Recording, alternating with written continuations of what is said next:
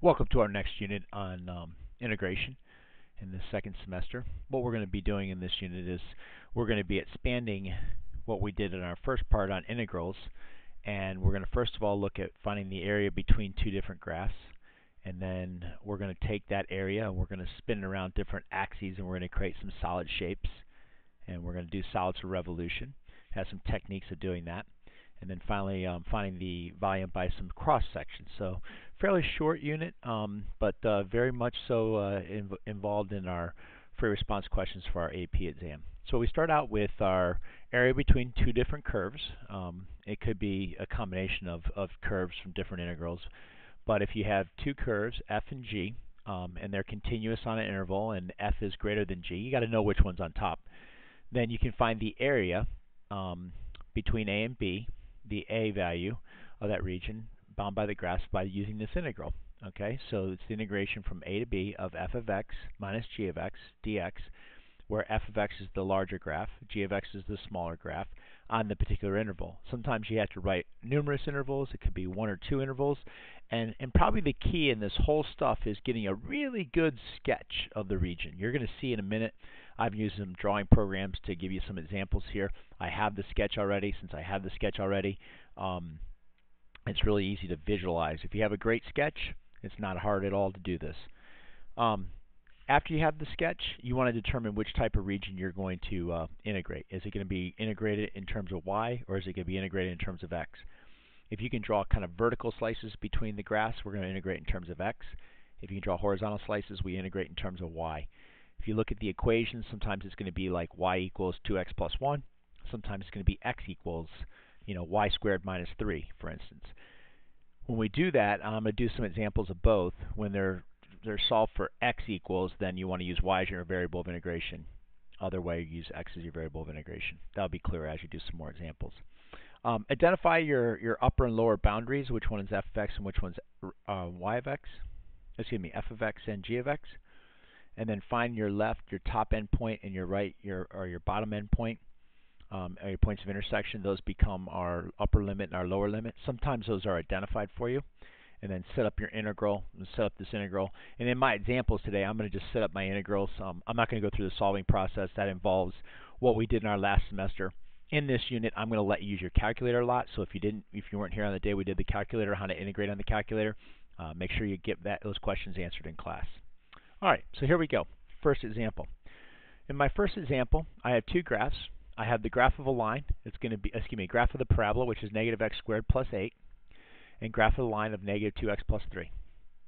Okay, and so I got this region, and what I'm trying to do is I'm trying to find the area of this region, and and find the area of the region. Obviously, um, obviously I, I um, have a picture of it. Okay, this these graphs, the f of x graph is my top graph that's the one that's on top on this interval. And the g of x, that's my bottom graph.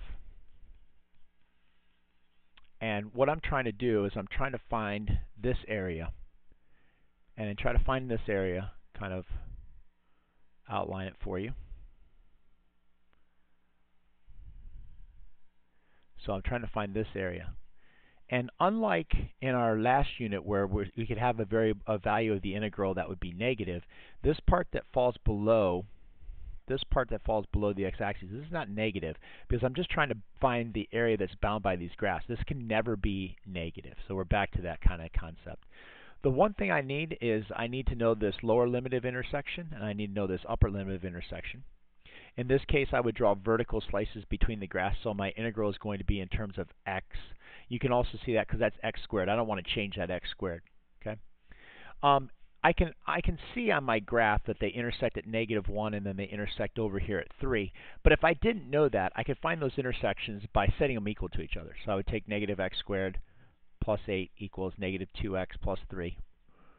I would take this side over here on the left and move it over to the right. So I got x squared minus 2x. Um, sorry, that's not an 8, is it? My gosh, that's a 6. I copied it down wrong. Sorry about that. That's a 6. So that's a 6, and that's a 6. So x squared minus 2x um, minus 3 equals 0. Factor it into x minus 3 times x plus 1 equals 0. And you find their x intersections at 3 and x equals negative 1.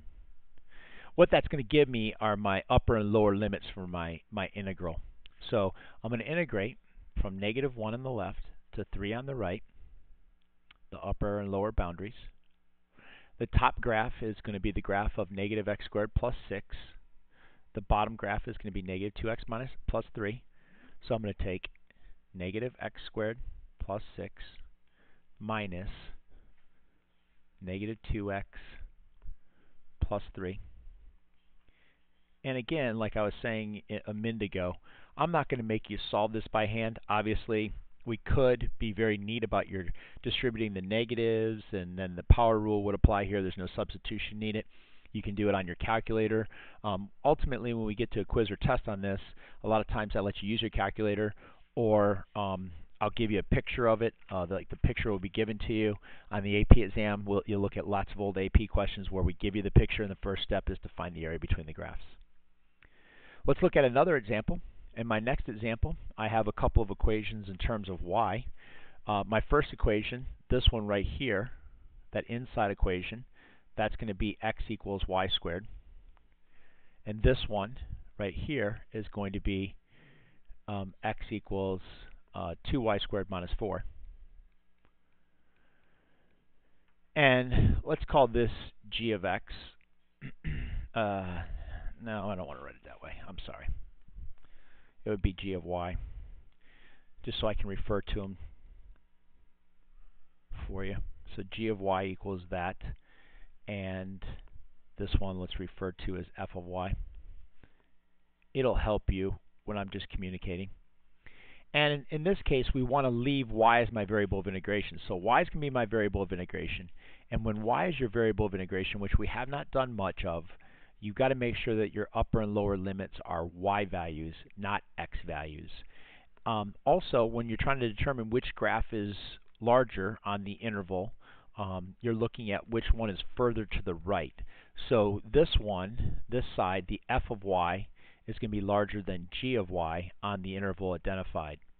When we go to integrate this, we're going to use our horizontal slices when we find the area. So we're finding this area in here. Okay and we're going to take the top graph, which is f of y, minus the bottom graph, which is g of y. If you draw some vertical slices on this, if I draw some, sorry, I mean horizontal slices, I would draw like a line here, and then I just draw infinite, infinitely many slices, and I just add up the area of these, uh, add up these these slices, and that ends up being the area that's that's identified.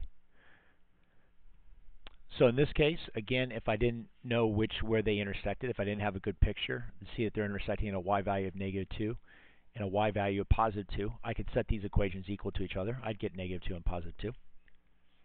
So the integral goes from negative 2 to positive 2. The larger function on this interval is y squared minus 2y squared minus 4. And since the variable of integration is y, it's dy, not dx. Let me do a couple of more examples. One of the examples I'm going to do for you is going to have uh, numerous different graphs where the, the, the um, you're going to have to write a couple of different integrals. Same concepts. So I have three different graphs.